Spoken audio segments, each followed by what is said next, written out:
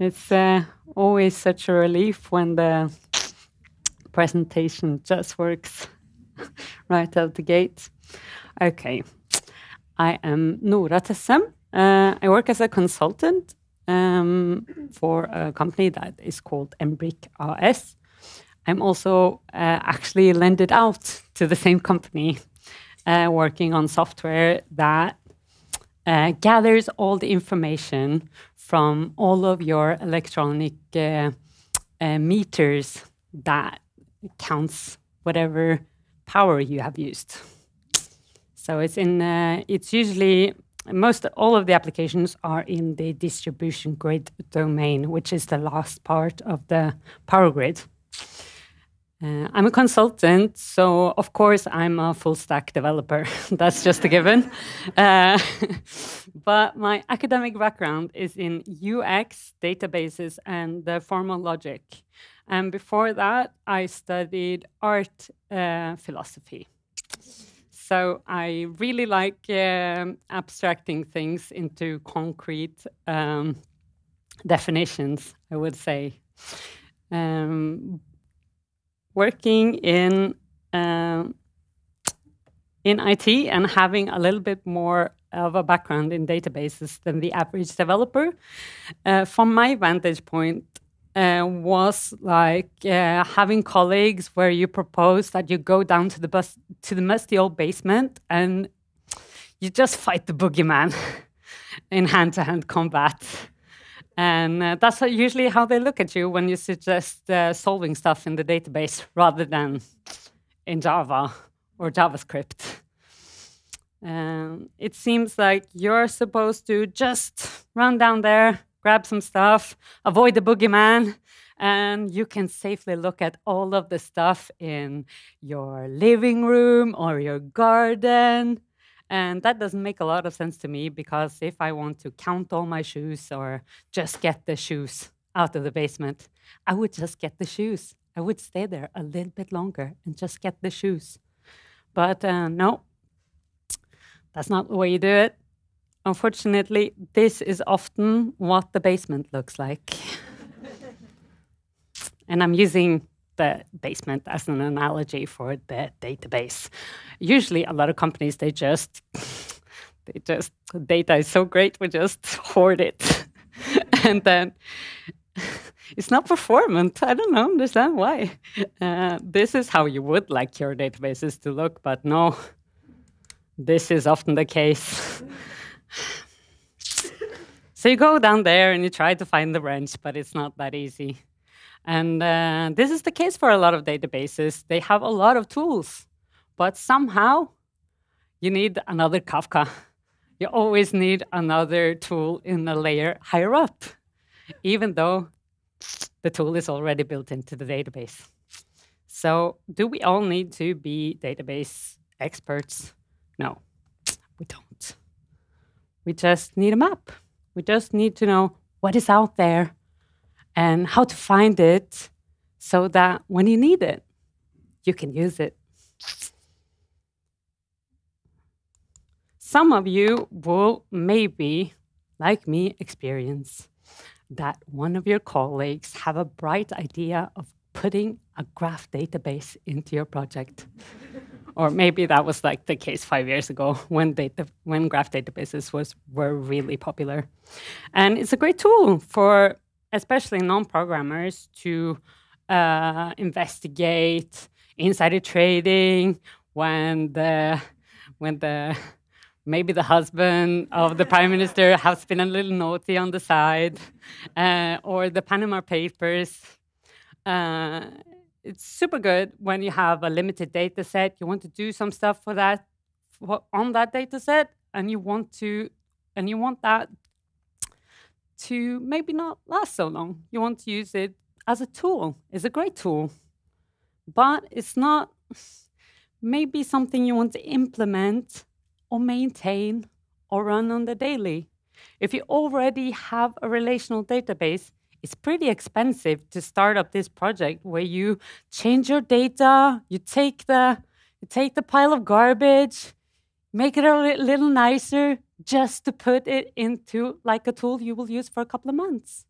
you would rather maybe in invest your time into ship shaping up the database you already have and figure out actually how do you write like if if you really need recursive um, relations and figure out who's related to who and your data is structured in this way and that is actually a huge part of your domain you maybe want to know how you do that in the database you already have and learn and then invest your time in learning rather than just wrangling data and putting it somewhere else. It doesn't really seem very productive to me. But you know, the heart wants want the, what the heart wants, and often that's a graph database. uh, so nothing but a demo, no, but a myth like a working demo.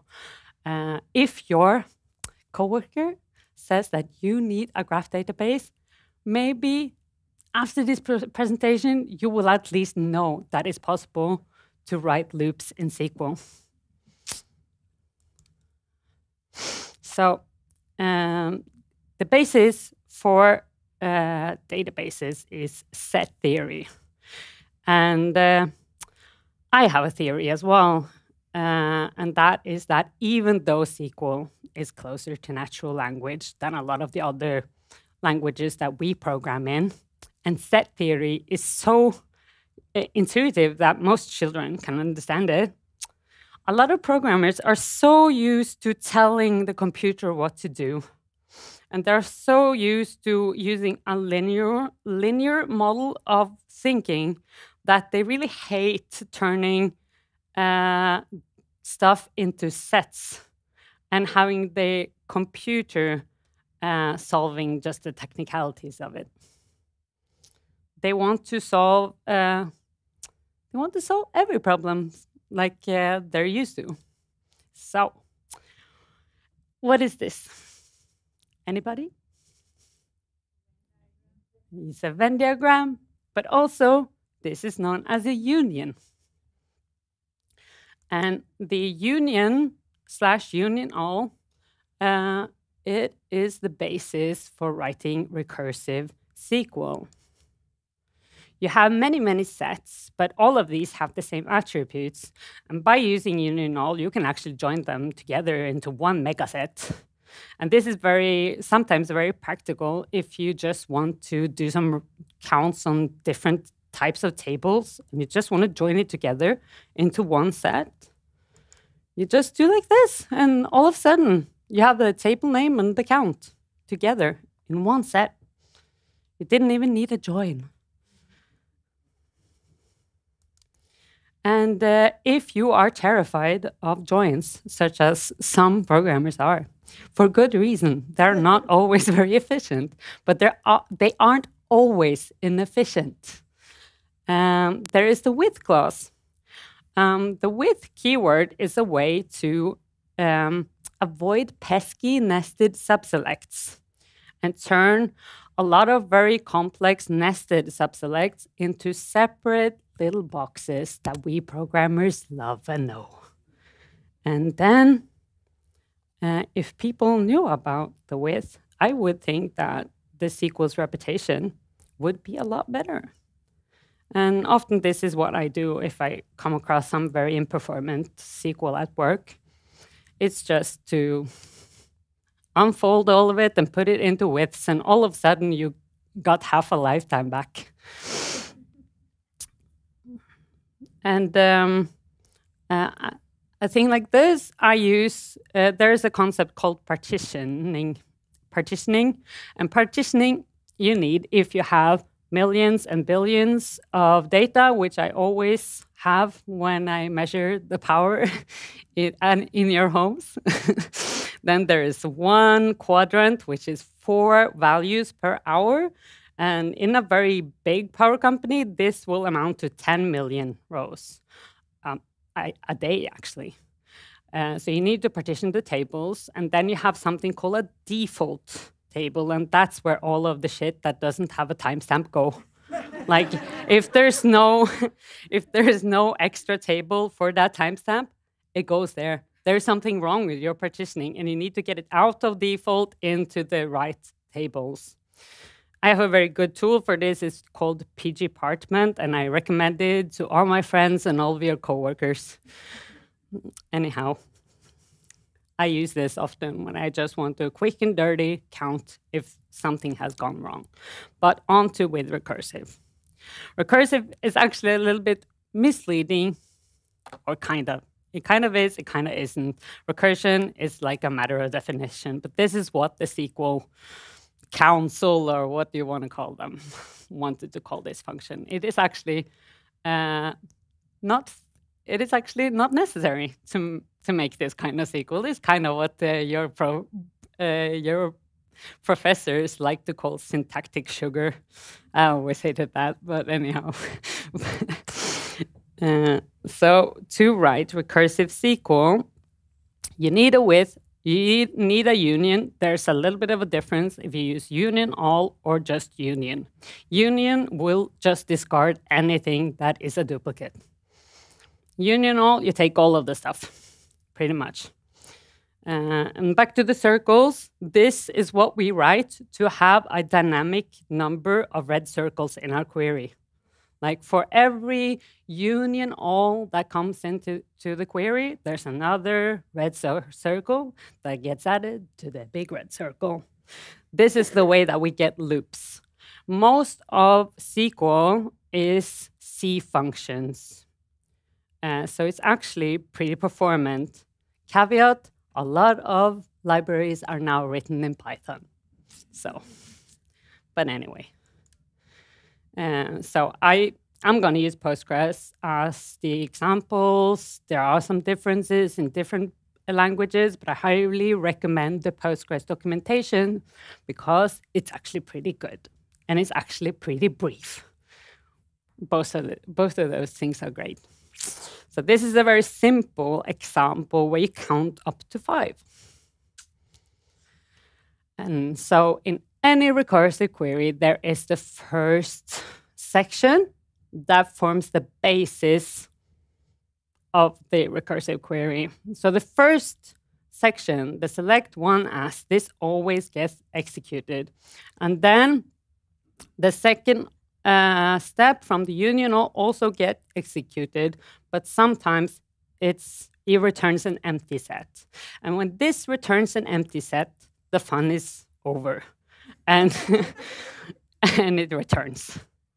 And so the way that it is recursive is that for every union all, there's another set, there's another set, there's another set, there's another set, until there's an empty set.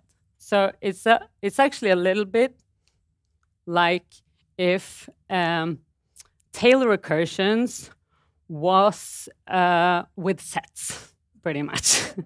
so you you all of the time you have access to the existing set that has been produced, and um, so that is why numbers to five is in the second query that is accessing itself, kind of. So this is the result for each pass. And uh, what will happen here? Any takers? Well, probably infinite, infinite loop if you were to think about it theoretically. Most of the time, not. Most uh, databases actually have safeguards against uh, in infinite loop, and there is like a max iterations that your then it will just stop. So it will save you, but this is a way to limit it. And here you see we didn't put it in the we didn't put it in the with statement. We put it outside. But that's the beauty of databases usually the query planner, it takes the whole thing and it looks at it and it makes it work in the best way. You don't have to tell it how to do its job. It just does it. So what do we use? It's very nice to write loops that count, count up to five and everything, but that's not what we use SQL for, is it? No. Uh, we use this, these kind of statements to look through hierarchical data and then often the tree comes to mind. You know, us programmers were always thinking about the trees and uh, how to save them. I don't know, paperless. Uh, well, there is a thing you can avoid if you use if you use the database for uh, uh, gathering the information about your data model and then wanting to do something with that information afterwards because you don't usually just query the database to get out your data structure. You often query it to get some aggregations. And then, you know, no round trip gets wasted. You get go into the database, you find all the relations, and then you have a set, and then you can actually do aggregations on them while you're there. You get to find all the shoes that are related to other shoes and then sum up their total income over here or something. Uh, a lot of people are scared of the database because of the round trip. But are you really, if you're spending multiple REST calls to find, uh, that's a round trip as well, if you ask me. Um, so I highly recommend the Postgres documentation. Uh, it also explains very briefly and accurately how it deals with breadth first versus depth first.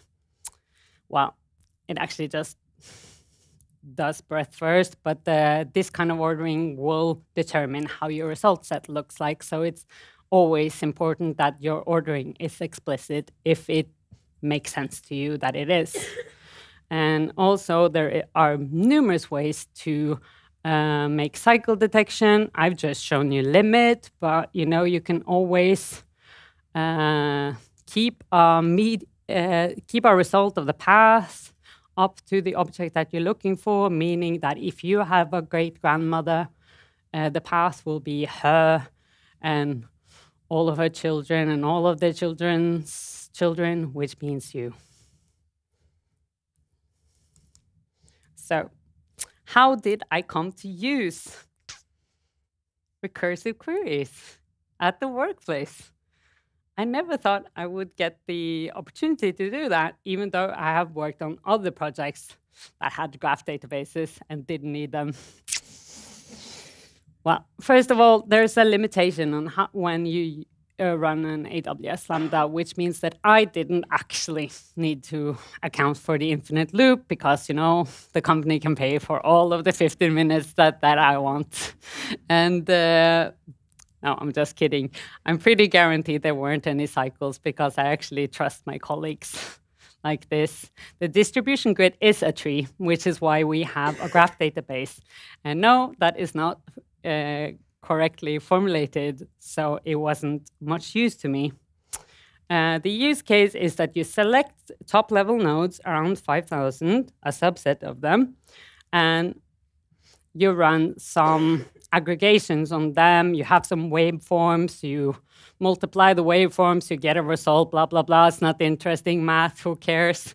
But anyway, these are a lot and lot of key value pairs in a very inefficient data format. And I didn't want to fuck around with that. I was just like, okay, this is the way you wanted to do it. Okay, that's fine.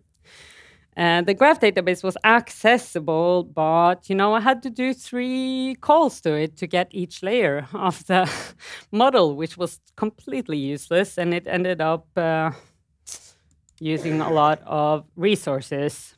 So this is pretty much the distribution grid. You see there there are some there's some infrastructure here that's boring, and then you come down, and all of these colored boxes they symbolize consumers customers.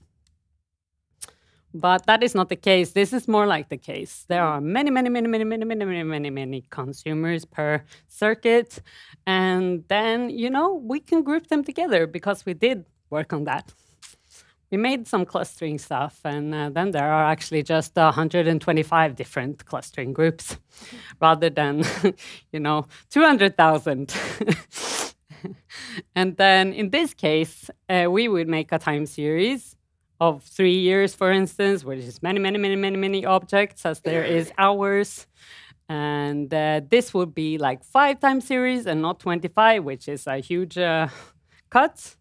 And then when I, I actually I uh, timed the solution that was there before I did the refactoring, and I ended up on average saving 30% in execu execution time.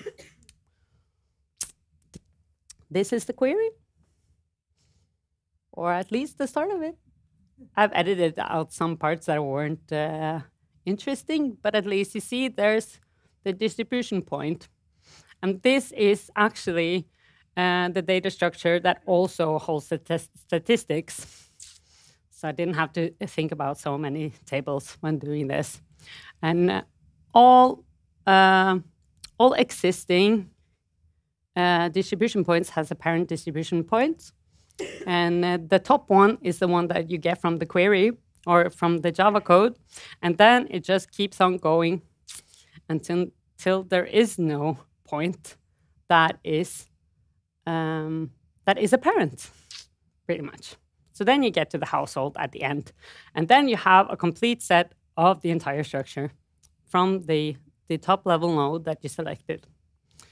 And uh, this uh, comma is also syntactic sugar for a cross join, which means that there's a Cartesian project product of both tables, both the one in the with statement, so all of the results you currently have, and then uh, the ones from the table that you are trying to join into that.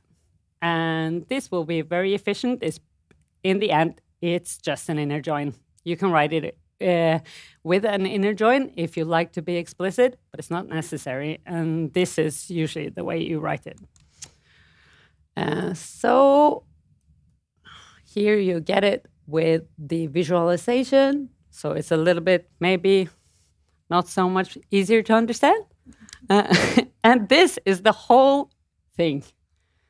This pretty much gets all of the, the descendants, and then it joins it together with the distribution point statistics, with, which is the which is a statistics object that holds a lot of the statistics, you see that's a JSON object because there's a, some arrows there, and those are actually JSON operators in SQL.